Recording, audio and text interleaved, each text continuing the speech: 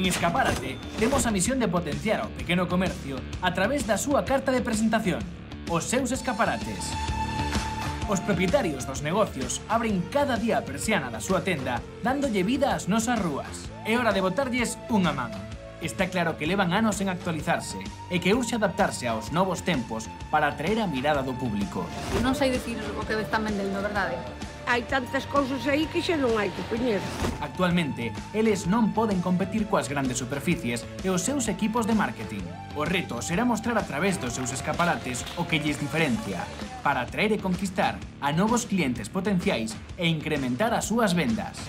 Cada semana remodelaremos os escaparates de dúas tendas, pero ademais, dous deseñadores profesionais competirán para ver quen é o mellor captando novos clientes mediante as súas creacións.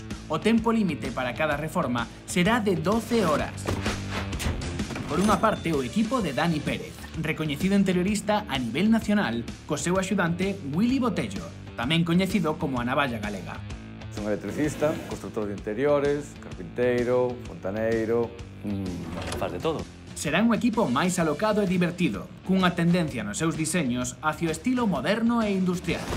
Loitarán contra o equipo de Clara Copena, deseñadora de arte, con experiencia creando escenarios de cine e televisión, que contará coa axuda de Noel Nove, un ilustrador de poucas palabras que non perde o tempo Son Clara Copenamigo, directora de arte e artista. Eles serán o equipo máis artístico e enfocado na tarefa, empregando un estilo máis artesanal e reivindicando o feito a man.